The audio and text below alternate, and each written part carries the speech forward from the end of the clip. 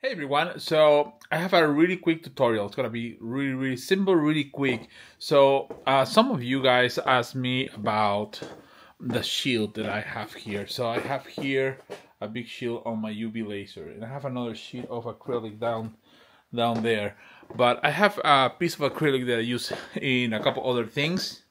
So I'm gonna show you how you bend this acrylic, super easy, super it's really, really, really easy to do. Anyone can do it in their home. You don't need any special tool. Uh, uh, well, I guess yes, you need a heat gun. Uh, but I'm gonna show you how I do this, and I'm gonna put some links below for some source that you can get laser shield. That means that it's going to be not just a piece of acrylic; it's going to be a shield for your laser that it will protect your eyes. So I want to do this on the camera on this piece and I'm going to show you how it goes uh, really quick. Uh, depending the thickness that you get is going to be the level of protection. It's going to be how much you need to heat it up and stuff like that. But it's quite simple, so let's get to it. Okay, the first thing that you need is to know where you are going to bend the acrylic. So I like to use the edge of my workbench because number one, I work here. If it gets scratched, I mark this or something, it's fine.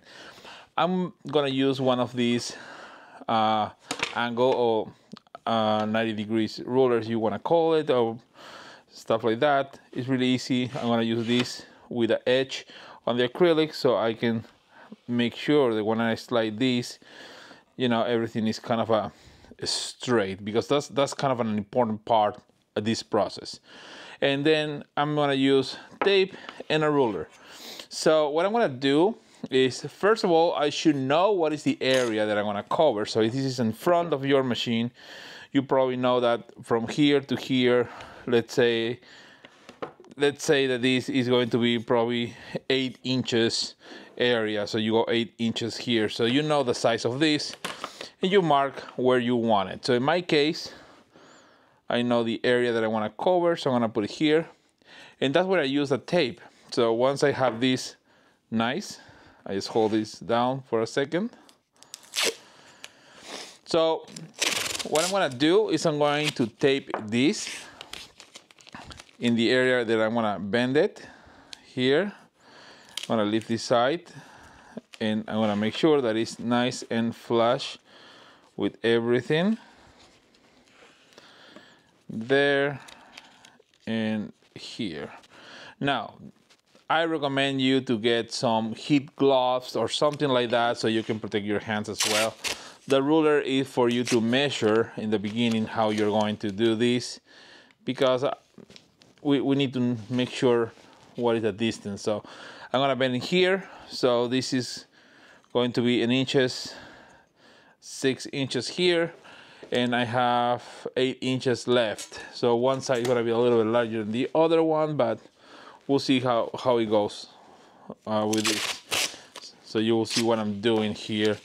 And the purpose of having an acrylic like this is because some of the lasers that they have their own enclosure or shield or stuff like that and sometimes you need the laser open but you want to block uh, as much as possible the, the rays. So this is where this comes handy. So let me move some stuff out because I don't want the heat damaging anything in case there's anything to be damaged there. If you know a way to keep everything always clean let me know because I struggle with space room and everything. So I'm gonna put my heat gun to the maximum setting right now. And what I'm gonna do is I'm gonna start just heating this part. So you're gonna start heating this and you will see the acrylic that start automatically bending down. It doesn't take long.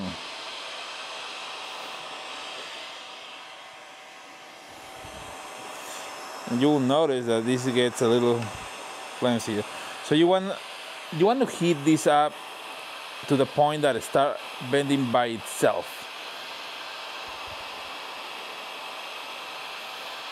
Don't stay in one place too long because you will kind of uh, burn the plastic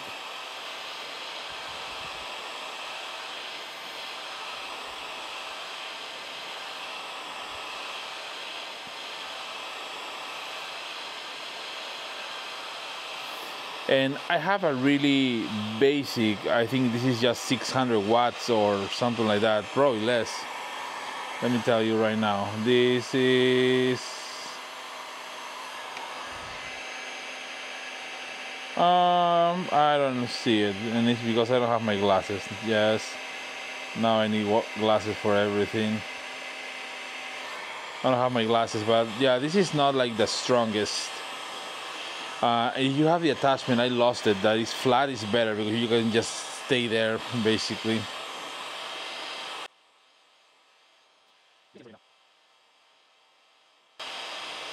Let's turn this off for a second.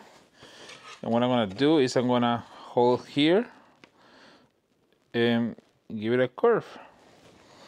And always when you do this try to bend a little extra of what you need to bend because kind of a spring back. So you want to make sure that this is bent the same amount that you want it like 90 degrees and, stuff like that. And you gotta stay there. Now you want to stay there for a couple minutes probably one or two minutes while this cools down. Let's press it and make sure that it bends completely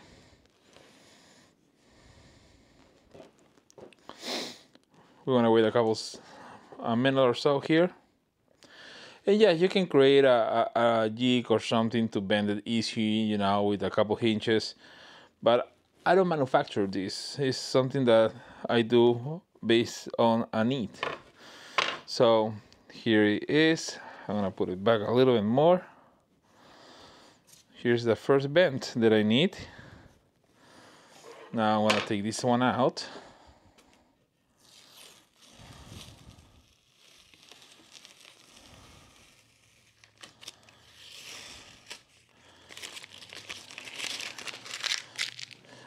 usually the first tape that you put here is going to lose how tacky it is because the heat.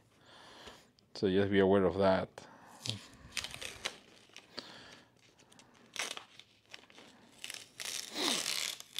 Here we go.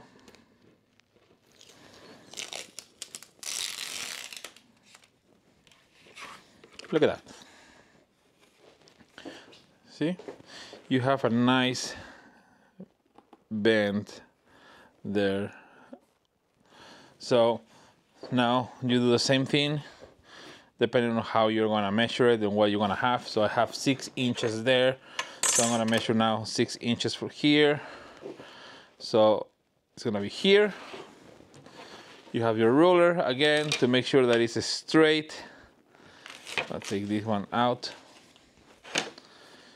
There it is. So this is where you we'll do this area here. So I'm gonna do that. And what I want to do again I want to grab this tape and it's gonna go here. Just to hold it in place.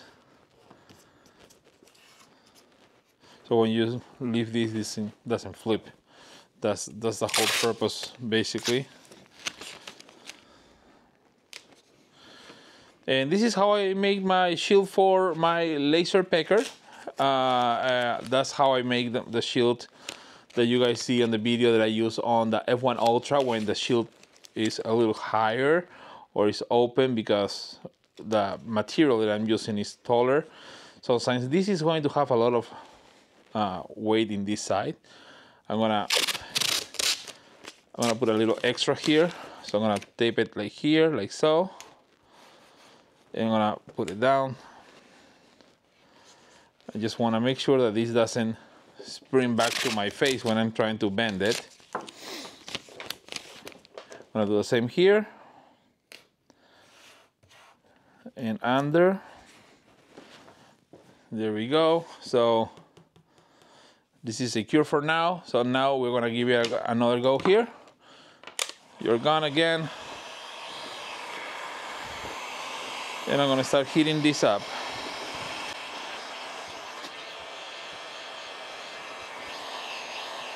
And you see how these already start going down.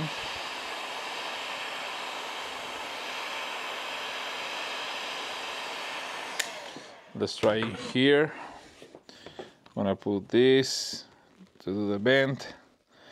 There it is. So I'm gonna hold it. Until kind of a cool down a bit. So when it cools down is where it's going to stay in, the same shape that I want it. If I don't hold it this is spring back probably too much. All right. Here we go. I want to take this out really quick so I can lift this back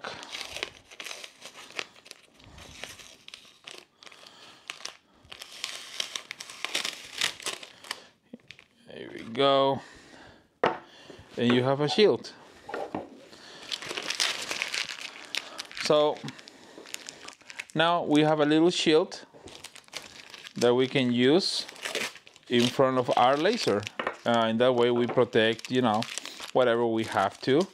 If something like this, when you see it from the top, this side, for example, is a little bit too narrow, you can just hit this part here. Just a little bit, just give it a little bit only. And this will spring back. There we go. So this automatically spring back. So there you go. You have that. It's a little more. A tad more here.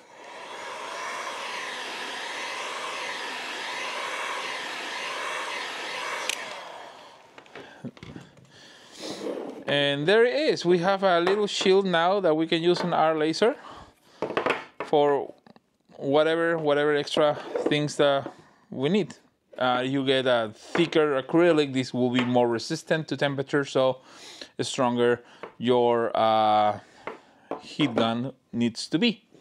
Well there you have it. So super easy to make a laser shield. So you have a fiber laser you have a ComMarker you have a even an xTool f1 or f1 ultra that you need to leave the shield a little bit open. Uh, you can make an extra shield that you just put in there to protect your eyes and the family around. Uh, it's a really easy project. Uh, just keep in mind these aren't really cheap. Uh, prices go all over the place. I will put some links below for you, and just get a heat gun, and you can get it done in a couple minutes of work, and really, really inexpensive. So please leave me your comments below. Give us a thumbs up, subscribe, and as always, fire the laser.